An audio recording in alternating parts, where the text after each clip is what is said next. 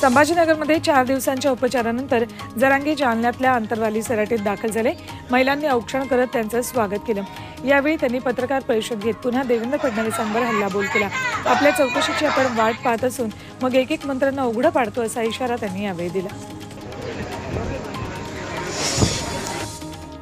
मराठा समाजानं सरकारला गनिमी काव्यांना धडा शिकवायचं ठरवले यासाठी लोकसभा विधानसभा निवडणुकीत मराठा समाज हिंगोलीतील प्रत्येक गावातून पाच उमेदवार देणार आहे. तर वलाना गावातून लोकसभेसाठी पंधरा उमेदवार कराय उभे करायचा निर्णय गावकऱ्यांनी एकमतानं घेतलाय.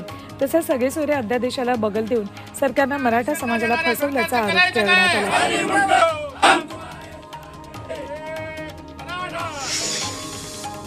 मराठा आरक्षणासाठी सकल मराठा समाज आक्रमक झालाय. सरकारला विरोध करण्यासाठी नांदेड लोकसभा मतदारसंघात मराठा समाजाकडून एक हज़ार उमेदवारी अर्ज़ भरले जाणार आहेत. प्रत्येक गावातून दहा उमेदवारी अर्ज़ दाखल केले जातील.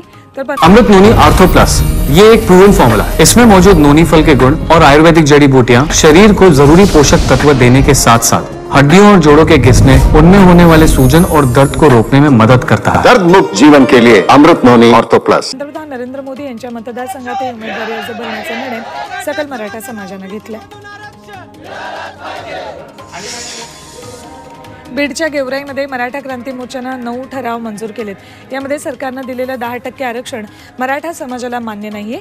यापुढे मराठा समाजात कोणतीही व्यक्ती राजकीय सभेला जाणार नाही. तसंच राजकीय पुढाऱ्याच्या स्टेजवरही जाणार नसल्याचा ठराव यात मंजूर करण्यात आला.